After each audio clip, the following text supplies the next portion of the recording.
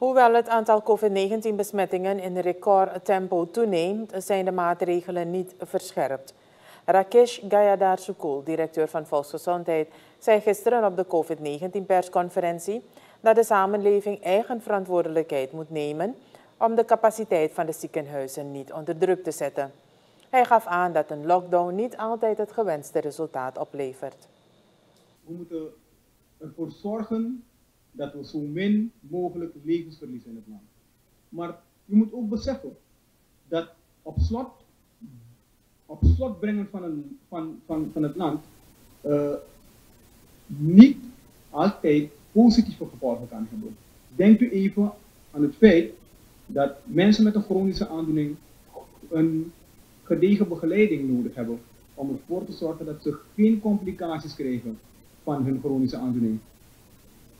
Zetten we alles op slot, dan moet u beseffen dat deze mensen dan eerder op de poli belanden om gedialyseerd te worden, eerder op de SEH belanden met een hartaanval, eerder een beroerte oplopen, waardoor je misschien een heel groot aantal mensen dan niet meer productief hebt in het land.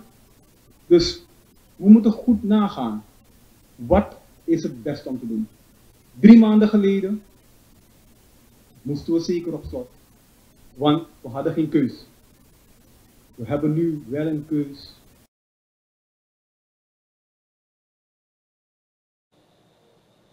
Claudia Redan, voorzitter van de Nationale Ziekenhuisraad, benadrukte hoe belangrijk het is dat mensen zich laten vaccineren. Ze zei dat ziekenhuizen te maken hebben met een braindrain, waardoor er een tekort aan personeel is ontstaan. Onze topverpleegkundigen trekken weg.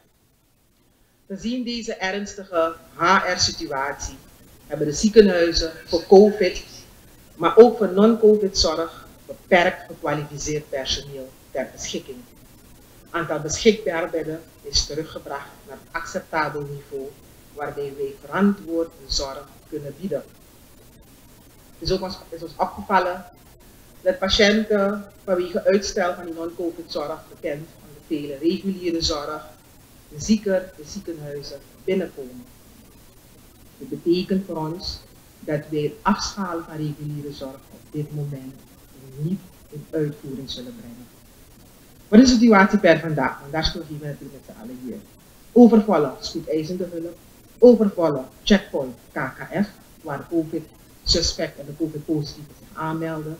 Patiënten die ziekenhuisbehoeftig zijn, kunnen niet worden opgenomen en worden in thuisisolatie gemonitord met zuurstof.